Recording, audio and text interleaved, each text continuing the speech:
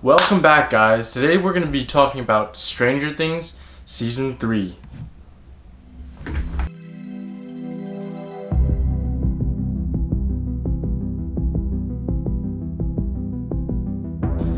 A lot of you guys might have known Stranger Things 3 came out on July 4th. It's the third season in a show. Basically, it's about the 1980s when a bunch of kids get together. There's just a lot of paranormal activity going on in a town called Hawkins.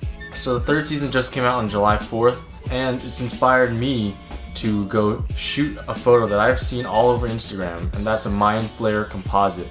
So today I'm to try to shoot Mind Flayer composite. I'm to try to show you guys how to edit a little bit and just bring you guys along the journey. So we'll start getting going in three, two, one.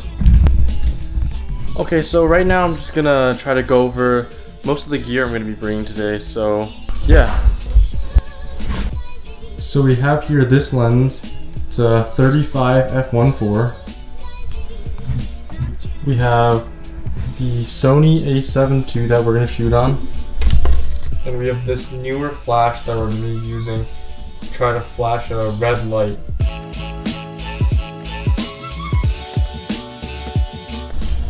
Okay, so right now I'm on the way to one of my friend's house. His name is Kyle, and he's going to be helping out with our shoot. So, yeah, I'll see you there. Okay, so we've arrived at Kyle's house, except the thing is Kyle always says my videos are uh, boring, so right now we're gonna just try to scare him when he comes out. See what happens, let's see the reaction.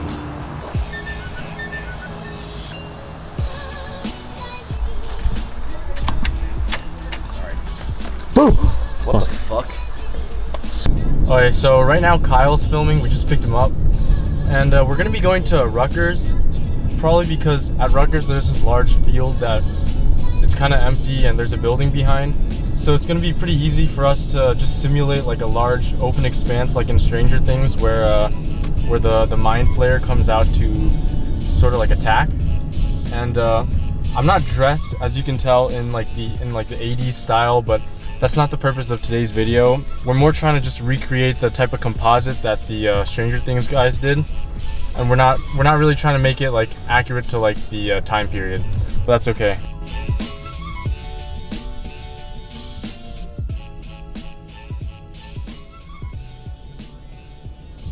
Okay so we've arrived at Rutgers and right now so you can see say hi Kyle. Hey, what's up? we're just holding a like a whole bunch of crap and yeah the, the field's a little bit away we'll be walking towards there and uh we're gonna have to test out this concept a few times because I'm not entirely sure of like what I'm looking for, but I, ha I have the general idea, so we'll we'll stay posted. Alright, so uh, I'm gonna come here just just for some better lighting. So I'm gonna show you our setup very very quickly. It's not it's not complete yet, but over here we have this light that we're gonna be using to just pull focus better and uh, our tripod and uh, I'm gonna be standing somewhere down there with that building in the background.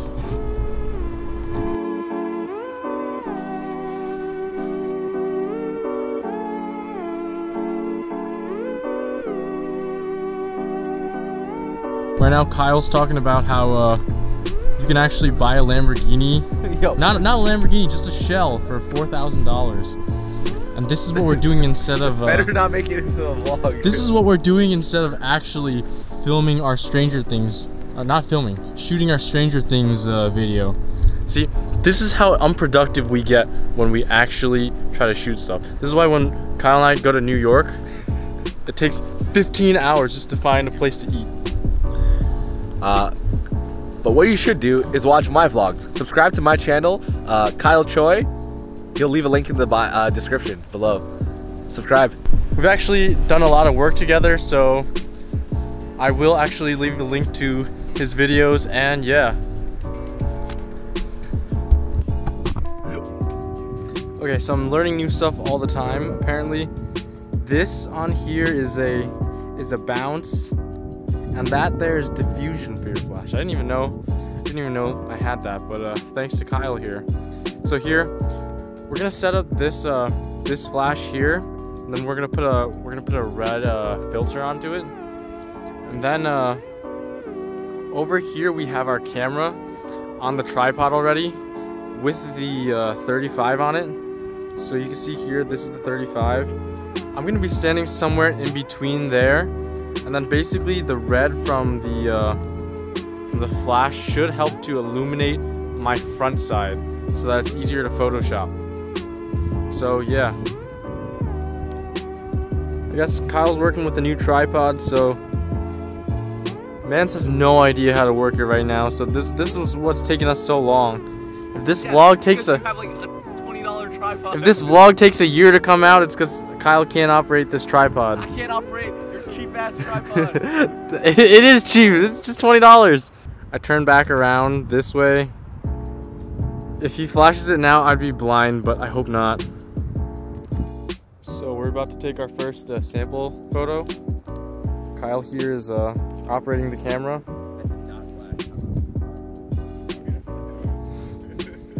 Okay, so we can't really do any of this stuff uh, the the nice professional way, right? But right now we're doing anything we can to get the shot. So we're just propping this up onto the gimbal case. That way the flash hits me more than it hits the grass. Because right now, I'll go over and show you guys what the what the photo looks like right now.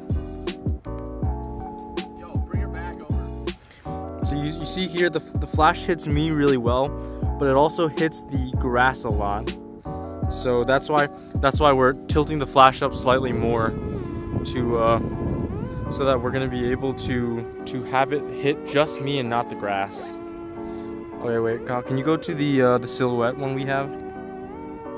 So that's what our silhouette one is gonna look like, and then we're gonna we're gonna take a long exposure so that we can uh, we can replace the background so it'll be brighter. That way the uh, the flayer will show the flayer will show up a little bit more in the background. Okay, guys, so we just finished uh, filming this Stranger Things style shot featuring the Mind Flayer, and uh, it was a relatively technically difficult shot just to shoot by itself. And uh, if all goes well, I'm gonna put it on the screen here.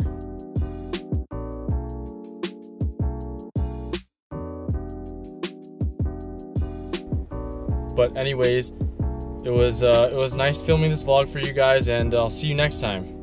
Bye.